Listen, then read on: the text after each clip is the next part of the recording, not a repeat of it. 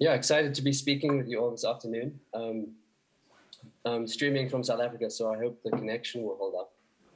Um, big thanks to the Robust Incentives Group for, for being so inviting uh, and for organizing this event. A bit about me, uh, I have an academic background in the social sciences uh, and sustainability. Um, so broad interest in sort of distributed systems and collective sense making and generally the study of complex systems. Um, so I'm not going to be presenting uh, any specific research today. Um, instead, I'll be introducing a methodology, um, you know, hopefully one that you'll be able to incorporate into your own research and design practice. Yeah, I find it's always good to start with with a promise. You know, um, and the promise is that you'll discover an applied systems thinking methodology. Um, you know that you can add to your toolbox, and, and hopefully this will help you to design better prepared economic systems. Um, I'm aware that you know many of you will, will be familiar with dynamical systems modeling to some degree already, especially if you're you're a, you know, a, seasoned Ethereum researcher. You know this might not be the talk for you, um, but you know perhaps you've come from sort of a, a strictly engineering discipline, uh, in which case you know I hope this presentation will at least be helpful in establishing a, a sort of interdisciplinary orientation. So this is what we'll be doing quickly. Um, just to ground the talk I'm going to sort of give an introduction to complexity economics. Uh, then we're going to do a crash course in systems dynamics.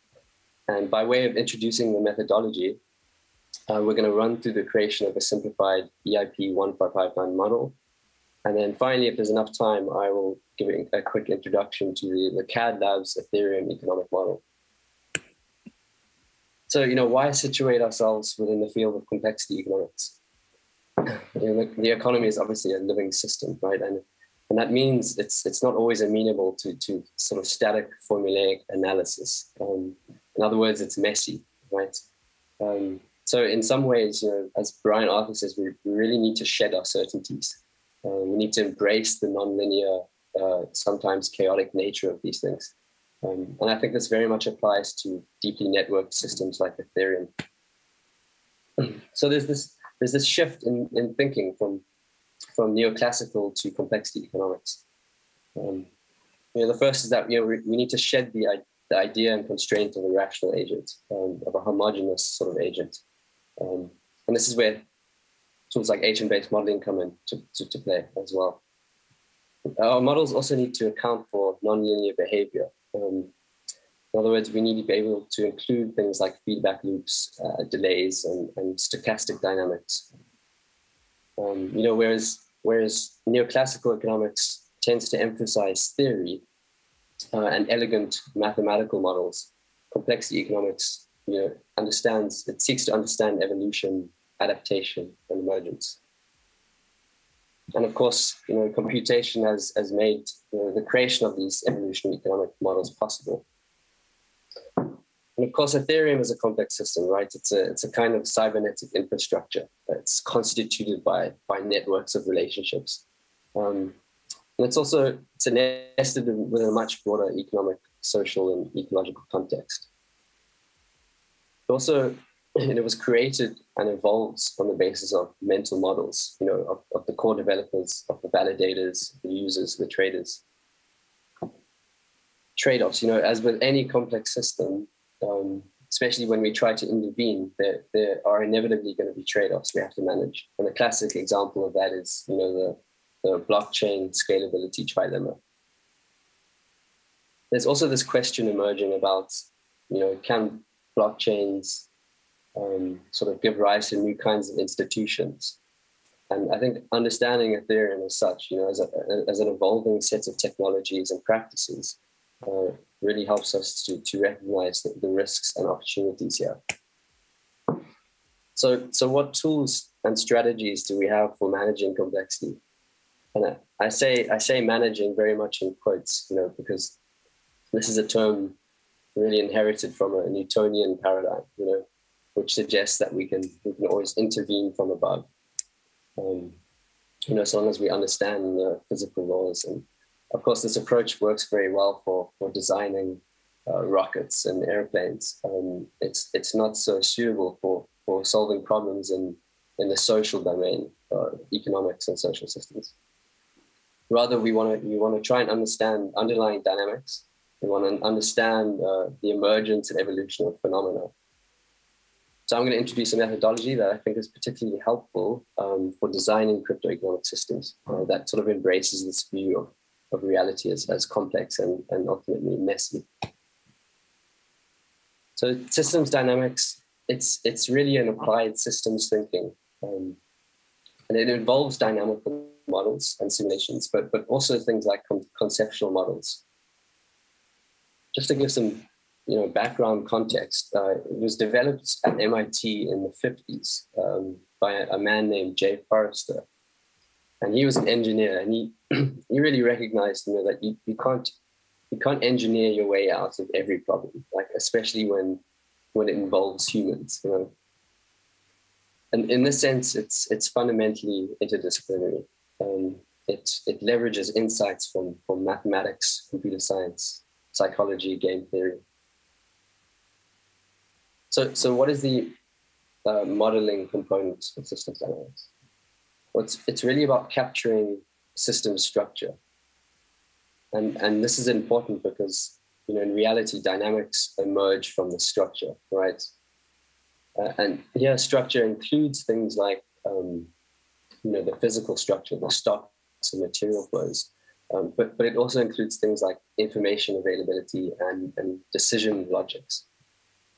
Um, of course, you know, most crypto economic systems, you know, decisions are being made all the time, like Not only by machines, but, but also by human beings, um, which in turn affect the, the system dynamics. Uh, that brings us to our second point, you know, which is it's really about capturing our mental models. I think this is really important. Um, you know, while it can help us to understand the, the evolution of a system, um, the emphasis isn't so much on predicting some future state uh, with perfect accuracy. Um, I think one of the most underrated, underrated uh, aspects of systems dynamics modeling is, is the emphasis on a, a visual or diagrammatic approach. And, you know, by explicitly representing the structure, uh, we, we, we sort of we externalize our mental model. We make it transparent and understandable. Another key advantage and is, is a sort of openness to include qualitative data. You know, traditionally the sciences have, have wanted to ignore this dimension for various reasons. Um, but arguably, you know, that's unscientific. Um, you know, whenever the system involves uh, human beings, you know, one has to consider these dimensions. And I'll come back to this point again when we construct our, our EIP 1559 model. There are also various software packages and libraries available. Um, many of you will have come across CADCAD already. Um, so this is the basic methodology we're going to run through uh, in very, very broad strokes. Um, you know, the way that they're listed here is obviously too linear. Um, in practice, it's, it's much more iterative. Now, this is the model we'll be building. Um, don't worry about not being able to see uh, the detail. We'll, we'll build it as we go. But it's basically a simplified demand fee model for Ethereum a dynamic base fee. so a guiding question is here is, uh, you know, what is the relationship between transaction fees and demand? And how does the, the EIP uh, 1559 mechanism respond to change in demand?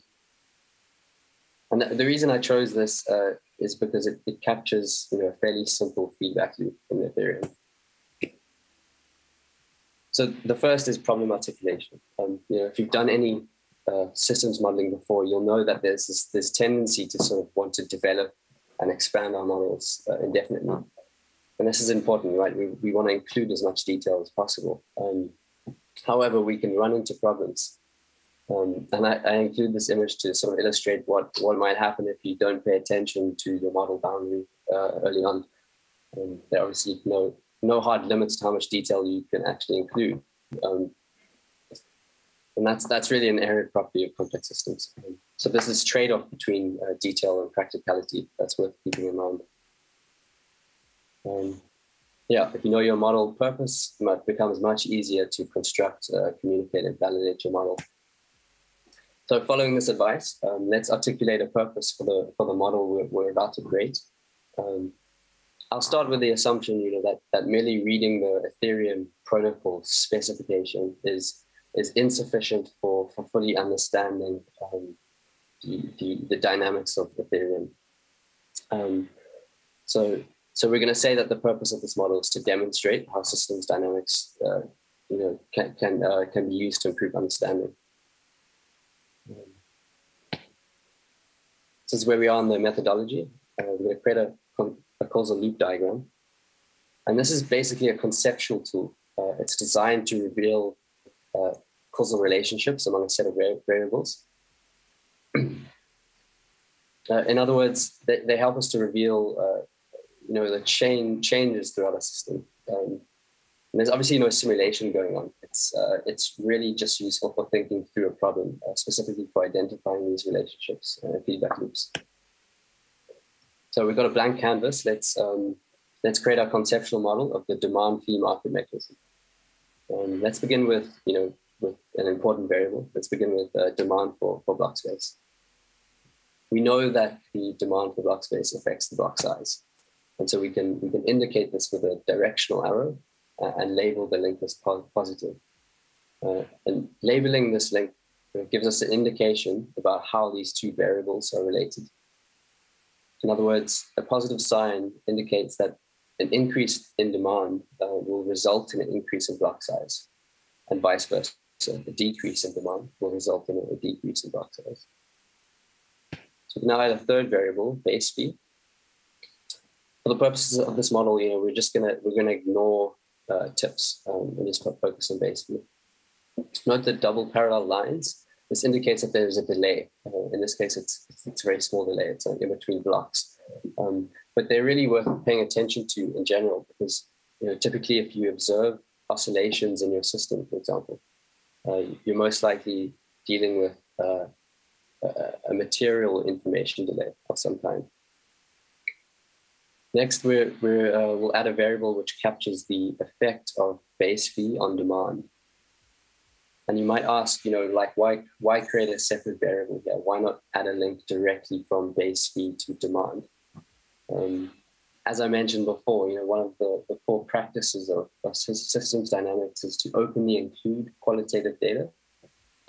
And we want to be very, very explicit when we do this, right?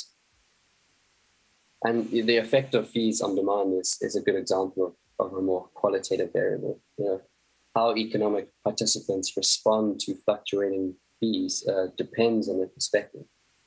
Um, in other words, you know, how much do they value making a transaction on Ethereum? Um, this is ultimately a qualitative uh, sort of decision. Um, and of course, we can use historical data uh, to, to inform our representation of this uh, relationship in mathematical terms. So we can still be rigorous when including these, these kinds of data. And finally, we can close off and label our loop. Now we've captured, captured an important feedback loop uh, in Ethereum, this, this demand fee relationship using a conceptual diagram. And by, by labeling you know, all the link polarities, we're, we're able to quickly identify the nature of this feedback loop.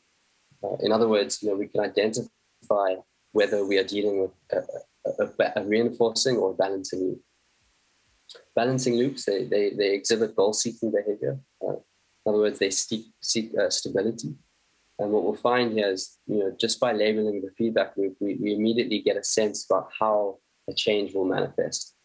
In this case, it will, it will counteract itself. And we can add extra detail um, to indicate sort of demand originating from outside this loop and more detail about how block size is determined, step size for EIP 1559. So let's convert our causal loop diagram into a stock flow diagram. Um, in addition to adding more detail, it really it sets us up nicely, I think, to, to convert our conceptual model into a dynamical simulation. This is a stock. Um, it represents an accumulated quantities uh, of some measurable thing or resource. Um, in other words, you can think of them as, as the memory of the system. This is an inflow. Um, it's defined mathematically as, as a rate of change of, some quantity. And this is an outflow. Um, and so the stock will accumulate or deaccumulate uh, as a result of the difference between these, these inflows and outflows. In other words, that this system is sort of described mathematically as a set of differential equations. So let's apply this to our causal loop diagram from earlier. We'll replace demand for blocks, uh, block space with, with the stock flow diagram. Of course, we can also replace our base fee variable uh, with a, a simple stock flow model. And we can add more detail. Again, we, we make it easier for us to model uh, and simulate, and, and we also make our assumptions very transparent. So, you know, on their own, these conceptual modeling tools are obviously, you know, they can be quite powerful. Um, but in many cases, we'll want to construct a dynamical uh, model. We want to we want to observe the, the, the behavior over time, and they they allow us to do some pretty cool things. Um, they allow us to observe nonlinear behavior uh, over potentially very long time frames. Um, you can get all sorts of predict- unpredictable results, uh, particularly when you, your model contains feedback loops and, and endogenous decision logics and stochastic dynamics. They also allow us to run uh, multiple experiments and scenarios. Um, you know, just by tweaking initial conditions and parameters, we can find out how our system evolves over time. We can also do things like perform sensitivity analysis, um, you know, identify key leverage points, uh, things like this. And all of these support uh, us in designing sort of better intervention strategies. So here's our conceptual model converted into a dynamic model. You know, I've added some charts showing the base fee and the block size over, over 60 minutes. And of course, you know, to create the dynamical model, you know, we're going to have to define each of these relationships in mathematical terms. Um, fortunately, with you know, with Ethereum and, and well-documented protocols, you don't have to do much much guesswork here when it comes to the, the mathematical specification. And of course, we'll want to we'll want to validate our model against historical data, uh, and that's that's another advantage of working with blockchains. Once you're satisfied, you know that your model is is behaving as expected, uh, we can then run all kinds of experiments based on you know what your problem articulation was and this is where it gets really fun, right? You know, where are the sensitivities? Where are the leverage points? Um, how does our system behave under different initial conditions? Um, and we can use parameter sweeps, Monte Carlo runs, sensitivity analyses to generate insights. So that was the crash course. Um, very broad strokes. I've obviously let out, uh, left out a lot of nuance, um, but I hope it at least gets you excited about constructing your own conceptual and dynamical models. Um, just to end off, um, I wanted to give a quick introduction to the open source Ethereum economic model. If you haven't checked it out yet, you can find the full project on GitHub. Uh, and there's a cool front end interface at ethmodel.io. Now, the project was it was spearheaded by CAD Labs, I believe, with support from uh, Robust Incentives Group. It's a, it's a Python model. It uses the RADCAD library, which is an extension of CAD-CAD and it's a dynamical model, right? It's it's it can be used to study ETH supply dynamics uh, in the transition to proof of stake. Um, you know, questions with important implications like uh, at what point and under what conditions will, will Ether become deflation? It also be used to study the effect of uh, validator yields uh, on, under various adoption and price scenarios. So the initial scope, you know, is very much about studying validator economics. And I think the I think the project is worth mentioning for, for a few reasons. The first is that it, you know, it's a great example of open box modeling. Um, it's open source. The assumptions are transparent. Um, the guys have just done an excellent job in terms of model architecture and documentation. The second point is that it's a it's a versatile research model. As I said, you know, it was originally scoped around validator economics, but you know, if you've got a guiding research question in mind, um, you could you could extend it to run various experiments. And of course, these extensions would be would be uh, contributions to the Ethereum community. The third point um, is that you know systems dynamics models like this really are low cost learning laboratories, and this relates you know very closely to the idea of a digital twin. You know, particularly when we when we consider the effect of evolving these systems on real participants uh, yeah, we want to make sure we've done enough testing. Um, and, and, that's the real value of, of a digital twin. Know, we're talking about an open source development context here, you know, with opportunities to connect the model to, to more like APIs, uh, potentially use machine learning, uh, add agent level interactions, and, and generally evolve it into uh, an extensive and robust research model.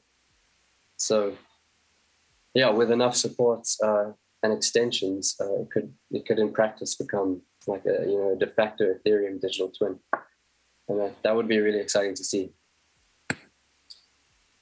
Yeah, that concludes. Um, it's been fun. Um, thanks for organizing this event. Uh, I'm not sure how we're on time. Um, if the audience has any questions. Uh, if not, it's been great to talk to you.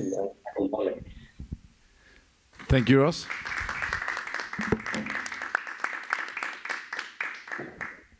If there are any questions, um, yes?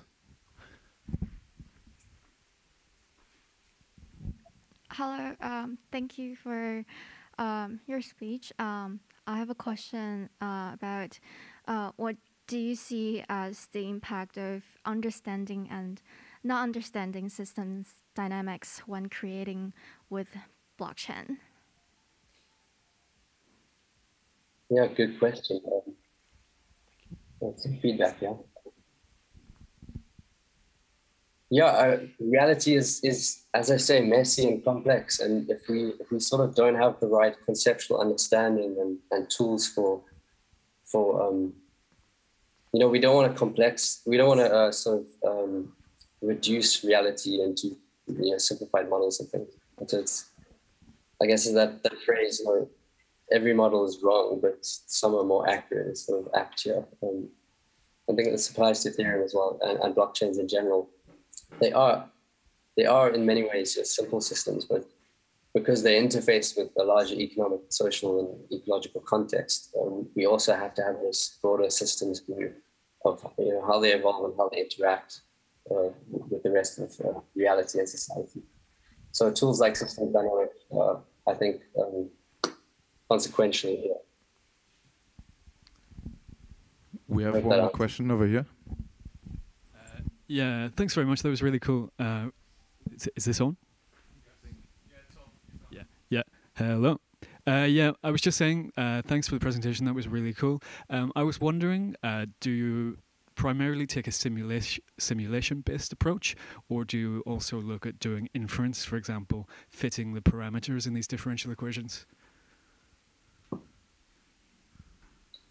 Yeah, um, in some cases, you know, conceptual models will be enough. Um, as I say, dynamical models, you know, help you um, to, to, to, observe behavior over long time frames and sort of um, observe these nonlinear behaviors.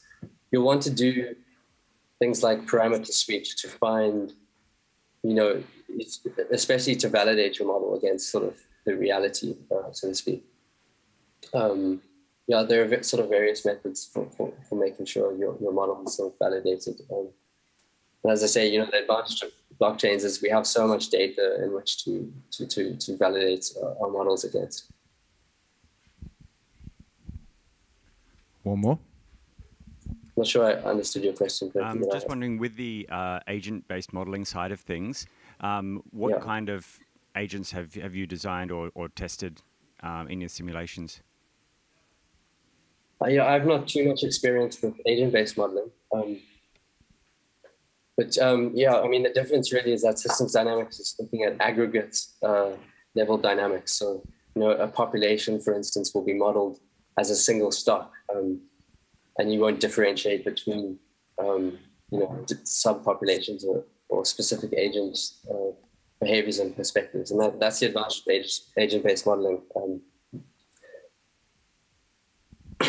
um, yeah, as I said, I haven't done but, uh, much agent-based modeling, but yeah, it gets really interesting when you start combining these two approaches. Um, you can get the advantage of system level picture while also sort of being fed uh, the results of, the, agent interactions. Um, and that can help us to make, uh, I think, you know, much more sort of uh, realistic uh, and interesting models. Thank you, Ross. Um, thanks for joining from South Africa and uh, have a great day over there. Thank you. It's been fun.